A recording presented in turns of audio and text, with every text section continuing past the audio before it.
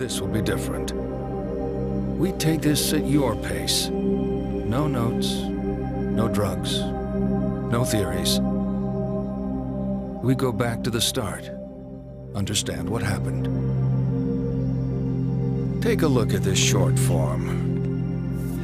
I promise it's the only one you'll see during your therapy. Try to answer truthfully. It's easier that way.